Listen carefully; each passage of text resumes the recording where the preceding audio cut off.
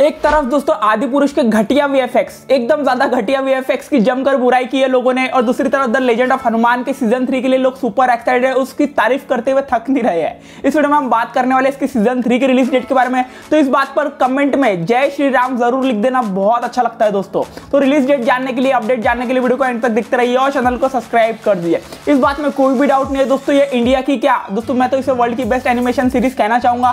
खासकर दोस्तों, ये हमारी हिस्ट्री को रिप्रेजेंट करती है और दोस्तों इसकी स्टोरी कमाल है। सबने पहले देखी हुई है, लेकिन जिस प्रकार से एनिमेशन की तरह इसे दिखाया गया, बहुत ज़्यादा मज़ेदार। इसके एनिमेशन देखकर देखो, दोस्तों, शायद आदि पुरुष वालों को कुछ सीख मिलेगी। मैं उन्हें वही कहना चाहता हूँ। क्योंकि दोस्तों, उतने खराब वी कौन यूज़ करता है? इतना बजट मिला है दोस्तों। लेकिन जो ऐसी सीरीज़ होती है, इन्हें उतना ज़्यादा बजट प्रोवाइड नहीं किया जाता, लेकिन कम से कम बजट में इतना अच्छा काम करना बहुत सही चीज़ है। बात करें दोस्तों सीज़न थ्री के बारे में तो काफ़ी टाइम पहले न्यूज़ निकल कर आ गई थी कि सीज़न थ्री हमें 2022 में देखने को मिल सकता है। लेकिन कुछ नई अपडेट निकल कर आ रही है, जिसके अकॉर्डिंग दोस्तों ये पता लग रहा है कि वीएफएक्स के ऊपर अभी भी कुछ हैवी वर्क बचा हुआ है एंडिंग एंडिंग का, क्योंकि दोस्तों इसमें हमें युद्ध देखने को मिलने वाला है, जिसकी वजह से इतना टाइम लग रहा है। और दोस्तों, कुछ अपडेट ऐसी कह रही है कि इस साल, यानी कि 2022 में दोस्तों, दिसंबर के फाइनल वीक में, या फिर दोस्तों, ये सीरीज़ 2023 तक भी जा सकती है। फ़र्स्ट क्वार्टर में 2023 की भी जा सकती है।